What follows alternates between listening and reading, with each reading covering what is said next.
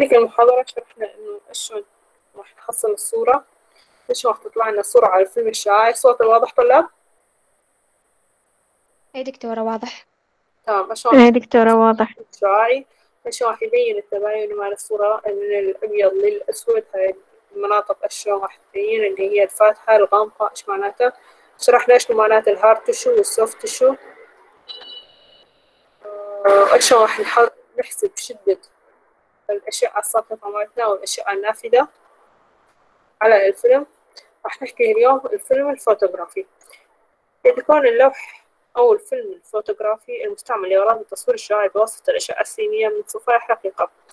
حكينا إنه إحنا لازم عندنا فد شي مادة. هاي المادة راح تتأثر بالأشعة السينية اللي راح تسقط عليها وتعمل تفاعل كيميائي. هاي إذا كان فيلم عادي تعمل إذا هو الفيلم الفوتوغرافي يسمونه الفيلم العادي تعمل تفاعل كيميائي تعطيني التباين مال الأشعة السينية النافذة من ال... يعني الطلعة من الجسم مالتنا اللي إحنا غير نصوره. هذا الفيلم الفوتوغرافي راح يتكون من طبقات. أول طبقة اللي هي الطبقة ال base اللي هي الطبقة الأساس اللي ما لها دور بال بالصورة يعني ما لها دور أساسي بالصورة بتكوين الصورة وإنما هي وإنما إيش الحجر الأساس مال الفيلم هي قاعدة مال الفيلم. اللي هي أشنو راح تكون حكينا إنه الفيلم قبل ما يتعرض للأشعة السينية راح يكون شفاف. شفاف إما من مادة السليلوز أو من مادة البوليستر. إذا القاعدة مالتنا شفافة من مادة السليلوز أو من مادة البوليستر. مضاف إليها صبغة ذات لون أزرق. هذا إحنا مالتنا حكينا الفيلم الشفاف لونه مايل إلى الزراق. لونه مايل إلى الزراق. ليش؟ نسبة إلى صبغة مضاف إليها. إن هذا الجزء من الفيلم يعرف في قاعدة الفيلم لحد الآن. إذا كان سواء إنه بوليستر أو سليلوز مضاف إليه صبغة هاي لحد إحنا قد نحكي على قاعدة الفيلم. فائدته إيش إنه يعمل كأساس لغرض وضع الطلاء؟ ال emulsion المكون من مادة جيلاتينية تحتوي على البلورات هون إيش هذا فائدة الحجر الأساس مالتنا؟ أو القاعدة. أنا راح أجي أخلي هاي المادة اللي راح تتأثر بالأشعة اللي راح ترسم لي الصورة. هاي المادة إيش يسموها؟ يسموها ال emulsion الطلاء راح تكون مادة جيلاتينية تحتوي على بلورات من مادة حساسة للإشعاع وغالبا ما تستعمل براميد الفضة. أكثر مادة إحنا نستخدمها بالفيلم حتى تتحسس للأشعة السينية هي براميد الفضة. تكون مادة جيلاتينية مكونة من بلورات. إن بلورات براميد الفضة توزع بشكل متساوي على كافة أجزاء قاعدة الفيلم السيلولوزي لغرض الحصول على حساسية متساوية في كافة أجزاء الفيلم. أهم شيء أهم شيء أنا من أجي أخلي هاي الطبقة جيلاتينية أخليها بالتساوي على القاعدة. حتى لا مكان تطلع بها مثلا مكان تصير ثخيني هاي الطبقة جيلاتينية ومكان تصير رقيقة وهاي الحساسية مال الأشعة طبعا راح تختلف راح تعطينا صورة خاطئة. إن البلورات المذكورة تحتوي على بعض الشوائب. برومين الفضة ما أطيق أنا أستخدمه وبحته وبحته وبحته. لازم أكو معاه شوائب بنسبة ضئيلة جدا إذ إن من الصعب جدا الحصول على نقاوة تامة لأي مادة وهذه الشوائب هي عبارة عن أملاح الفضة. هاي المادة بروميد الفضة هي كيميائيا كيميائيا. لازم تكون يعني تحت ظروف كلش مثالية حتى تظل مادة نقية. بما إنه إحنا عندنا نقل وشحن وتصنيع وتغليف والخزن مالتها داخل العيادات فكلها ما مواد يعني ما ظروف مثالية. فلازم أشنو؟ راح تتكون بها مادة شوائب يسموها اللي هي أملاح برومي أملاح الفضة. السيلفر ألديهايد. لأن وجود هذه الشوائب بنسب متفاوتة متفاوتة إضافة إلى وجود البلورات الأصلية بأشكال هندسية عديدة وبأحجام مختلفة يخلق إمكانية الحصول على أفلام ذات درجة مختلفة من الخواص يستخدم يستفاد منها حسب الحاجة وحسب الاستعمال. أنا راح أجي من أجي أصنع هاي المادة الجيلاتينية. هاي البلورات ما كلها نفس الحجم. أكو منها أصنعها حجم كبير أكو منها أصنعها بحجم صغير. زائد الشوائب. إن الفيلم الفوتوغرافي يمكن أن يكون وحيد الطلاء أي أن سطحا واحدا منه مغطى بالطلاء جيلاتيني الحاوي على بلورات ويمكن أن يكون ثنائي الطلاء أي أن دقيقة نقلل الضوضاء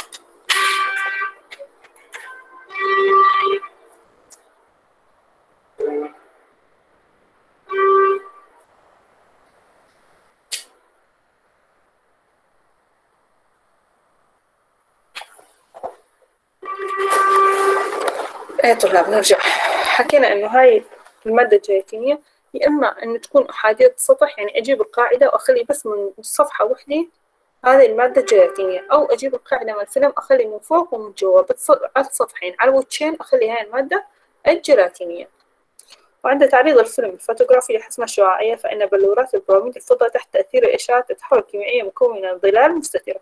حكينا إنه هاي المادة البراميد الفضة ما راح تسقط عليها الأشعة السينية راح تتحول إلى مادة راح مثل الشمس تشتعل راح تكون تتحول إلى ظلال مستترة اللي هي إشنو اللي هي التفاوت يعني أشهر الظل؟ يعني أكو عندنا ضوء وعتمية والظل اللي هي التفاوت بين الأبيض والأسود هي هاي درجات التباين مال الرمادي.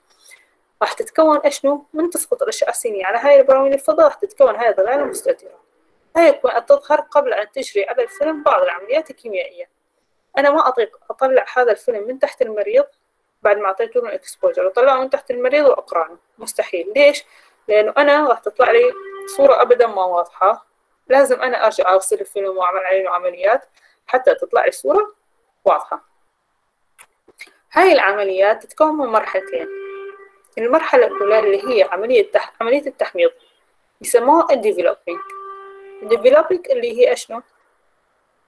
هي هذه في هذه العملية يتم إظهار الظلال المستترة التي تكونت في مواضع المعرضة للإشعاع يعني أشنو؟ أنا بهاي العملية راح أجيب هذا الفيلم أخليه أعالجه بطريقة معينة راح نجي نشرحها إيش راح أعمل؟ راح أظهر أبين هاي الظلال المستترة هاي التباين اللي طلع عندي نتيجة ال X-ray المرحلة الثانية هي مرحلة ال fixation التثبيت حيث يتم إزالة بلورات الفضة الغير متأثرة بالأشعة ليش؟ أنا لازم أعمل هاي العملية حكينا إنه مثلا بالعظم ما راح تسقط آه، ما راح تسقط أشياء كثيرة على الفيلم ليش؟ لأنه العظم راح يمتص ال X-ray زين أنا معناته إيش؟ معناته أكو هوني مكانات مال براميد الفضة تحت العظم أكو مكانات مال براميد الفضة بعد ما شافت X-ray ما شافت أشعة وما اشتعلت. بعدها حساسة للأشعة وللضوء طبعا للأشعة والضوء هذا الفيلم مال الأشعة ما يصير يتعرض لا لل X-ray ولا الضوء العادي. فأنا إذا مسكتوا هذا الفيلم وعرضتونه على الضوء أو يعني نشوفه على الضوء إيش معناته؟ معناته راح أشعل هاي الأشعة هاي براميد الفضة اللي ما كنت اشتعلتها راح أشعلها معناته إيش خربت الصورة خلاص. ما بعد أبين أنا هذا كان عندي hard tissue ولا soft tissue التباين كله راح يروح ماشي طلاب؟ فإيش راح أعمل؟ أي دكتورة.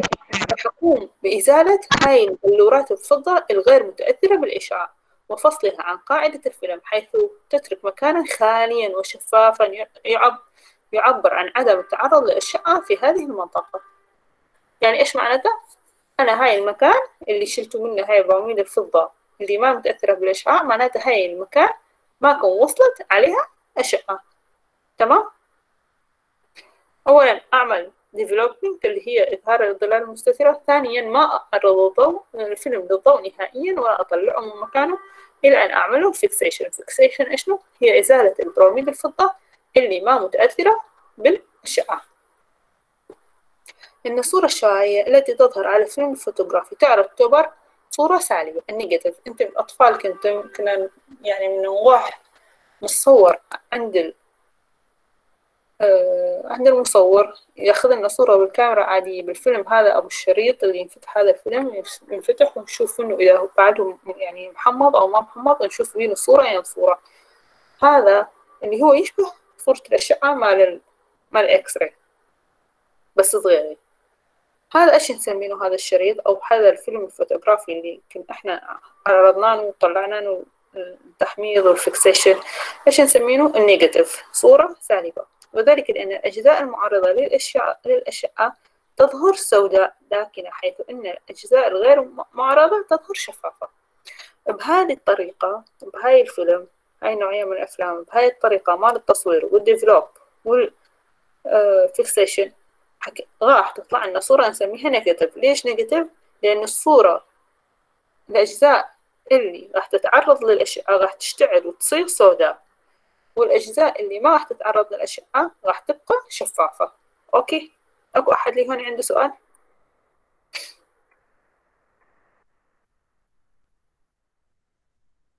لا آه دكتور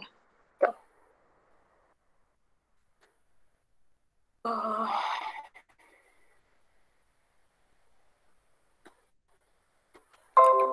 نجي على شغلة اللخ اللي هي سرعة الفيلم إيش معنى سرعة الفيلم؟ إن مقدار التعرض الذي يؤدي إلى الحصول على كثافة مقدارها دي واحد وهو مقياس سرعة الفيلم ففي فيلم معين نحتاج إلى تعرض معين للحصول على كثافة مطلوبة لأنه في فيلم آخر تعرفون إيش معنى سرعة الفيلم؟ هو الزمن اللي لازم حتى أنا الزمن اللي لازم يعني هو إيش خليك تقل الزمن خلي معناته زادت السرعة. هو الزمن اللازم إنه هاي براميد الفضة تنطيني حساسية full حساسية حساسية كاملة لهاي الأشعة الساقطة وتنطيني صورة. يعني أنا عندي فيلم حتى أحصل بينه صورة. الفيلم السيء عندي فيلم حتى أحصل بينه صورة جيدة. ممكن إنه أنا لازم أعرضه exposure دقيقة كاملة. معناته إيش؟ هذا الوقت مال ال exposure صار دقيقة كاملة. أما الفيلم الجيد راح يحتاج زمن أقل إكسبوجر أقل حتى يعطيني صورة تمام؟ ومقدار التعرض الذي يؤدي إلى الحصول على كثافة مقدارها دي واحد وهو مقياس لسرعة الفيلم. ففي فيلم معين نحتاج إلى تعرض معين للحصول على الكثافة المطلوبة يعني أنه في فيلم آخر يؤدي إلى الحصول على نفس الكثافة فيقال عندئذ بأن الفيلم في الحالة الثانية هو أسرع من الفيلم في الحالة الأولى. إذا من الفيلم الجيد اللي هو يحتاج أقل تعرض أقل تعرض وأقل زمن. okay يعني إيش أقل تعرض؟ يعني أقل exposure أقل كمية أشعة تصل إن التحكم في سرعة الفيلم أمر يعود إلى تصنيع الفيلم. فلقد ذكرنا أن بلورات براميد الفضة التي تكون تكون طلاء الفيلم لا تكون بحجم واحد. نجي نشرح قبل قلت لكم إنه هاي البلورات ما يصير تكون كلها بحجم واحد. راح تكون أكو بلورات كبيرة أكو بلورات صغيرة. راح نجي نشرح إيش علاقتها بتكوين الصورة. ولأجل الحصول على فيلم سريع فإن نسبة فإن نسبة البلورات الكبيرة الحجم وهي الأكثر حساسية للإشعاع يجب أن تزداد يجب أن تزداد. يعني إيش كل ما كانت البلورات كبيرة كل ما كانت حساسية الفيلم أحسن. بس إيش يجب أن تزداد لكن في هذه الزيادة لها تأثير سيء في جعل مقدار معامل الكامة قليل. مما يؤدي إلى الحصول على فيلم سريع ولكن التباين ضعيف. أنا بلورات هاي كبيرة تعطيني حساسية أكثر بس إيش نو راح تقلل لي التباين؟ يعني راح يطلع الفيلم كله عبارة عن سواد. سواده أكثر من البياض مالته.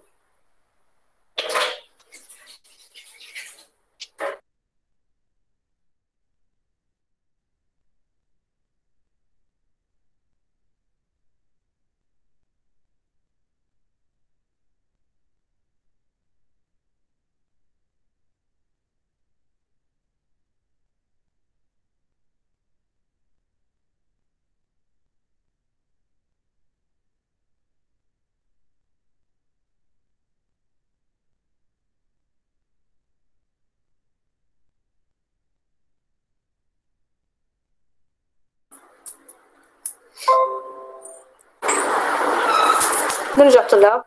حكينا إنه بلورات كبيرة تزداد حساسية بس هاي الزيادة مع الحساسية راح تعمل لي قلة في التباين. إيش هاي قلة في التباين؟ اللي هو مقدار جاما راح يكون قليل. إن متطلبات الحصول على أفلام سريعة هي متطلبات ضرورية وذلك وذلك لتقليل التعرض إلى الحد الممكن. أنا حتى أنا أحتاج فيلم سريع حساسية عالية فيلم سريع بس إيش راح يأثر لي على جودة الصورة.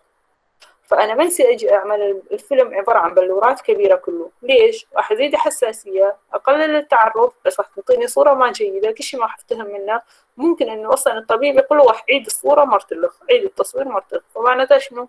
صار exposure double exposure على ال patient على المريض فلازم نراعي إنه من نصنع هاي الأفلام تراعي ناحية الحصول على سرعة جيدة للفيلم مع مراعاة الحصول على تباين جيد إذ أن الحصول على عامين في وقت واحد أمر جدا عسير. صعبة بالتصنيع بس لازم إحنا نراعي الحساسية مع التباين.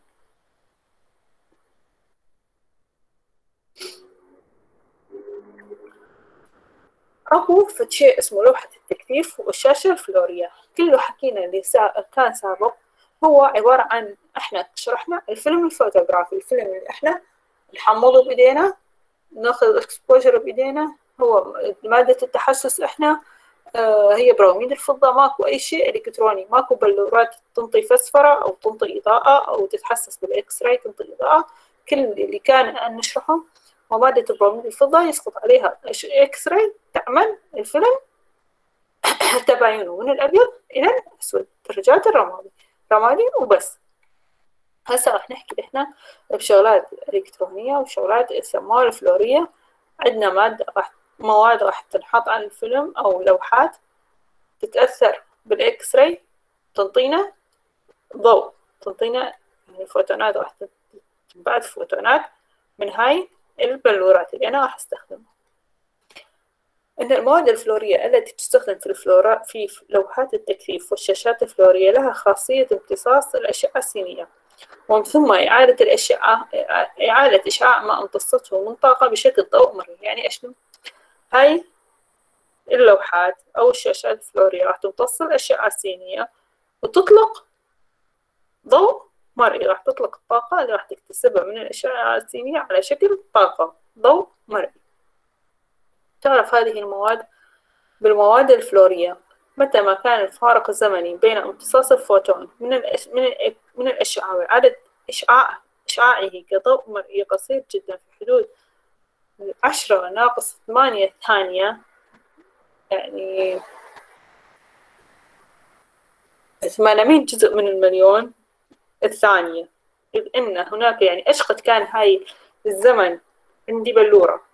امتصت الأشعة وبعدين اكتسبت طاقة وبعدين حررت هاي الطاقة إلى ضوء. إيش قد كان هاي الزمن هاي العملية كلها تصير إيش قد كان أنا اللوحة أحسن؟ لأن هناك مواد أخرى تعرف بالمواد الفسفورية. إيش معنات الفلورسنت؟ هذيك فلورية. هاي فسفورية. نجي نشرح إيش معنات الفسفورية.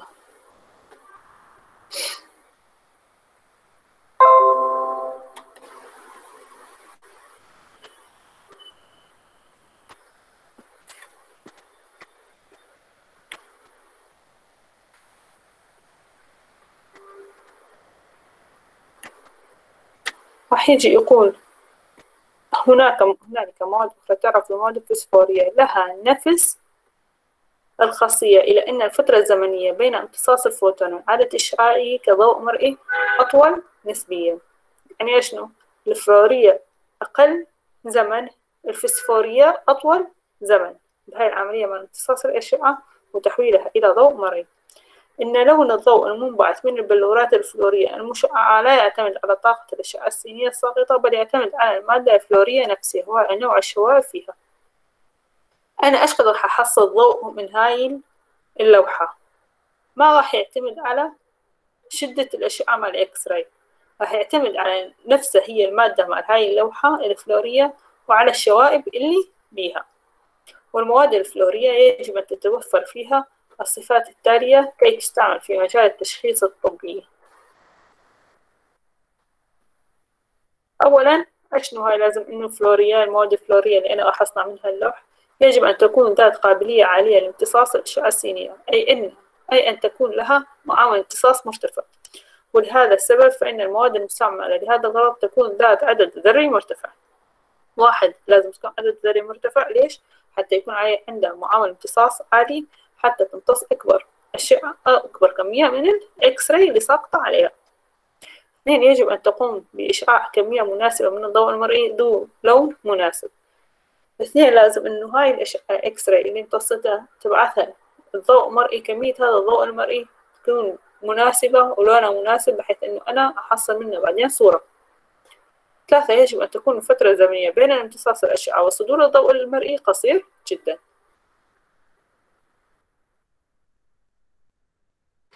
من الخاصية الفلورية تستعمل في مجال التشخيص الطبي الشعاعي في حالتين رئيستين. هذا الخاصية الخاصية الفلورية راح أستفاد منها حالتين. واحدة لوحة تكثيف ال intensifying screen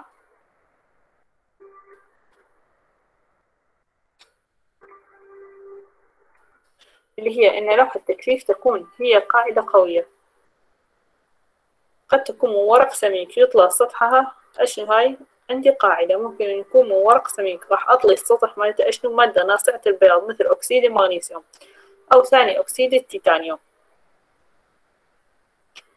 وفوق هذه السطح أولا إيش عندي؟ ورق سميك بعدين أضليها. مادة ناصعة البياض بعدين فوق هذا السطح الأبيض توضع بلورات فلورية. مكونة طلاء رقيق بسبب صغر حجم البلورات هاي الفلورية المادة الفلورية لازم تكون بلوراتها صغيرة عكس بروميد الفضة.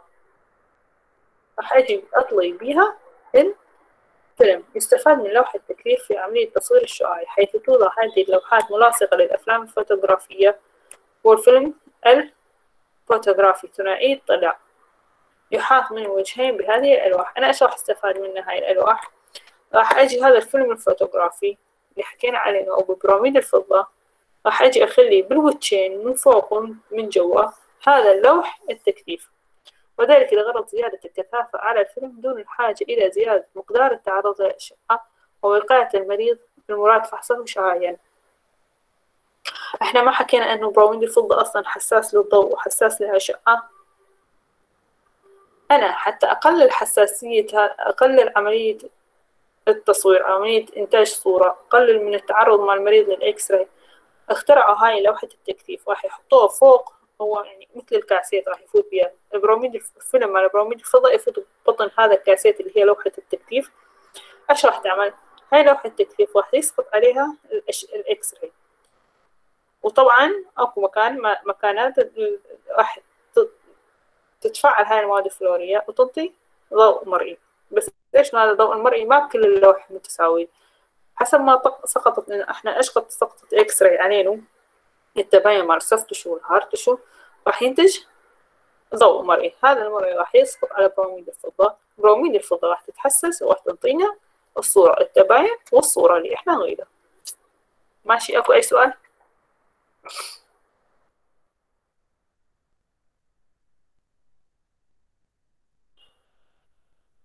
طلاب اكو اي سؤال؟ لا دكتور. ماشي. إلى هوني خلينا نتوقف حتى ممكن ترجعون تقراها لا تتخربطون بالمعلومات اللي قرأناها. اللي شرحناها. المحاضرة الجاية نكون نكمل إيش معنات ال fluoroscope إيش تخزين الأفلام إيش نحفظها حتى لا يصير التشابك بين المعلومات السابقة وبين ال fluoroscope ماشي؟ تمام تمام. يا هون أكو أي أي سؤال استفسار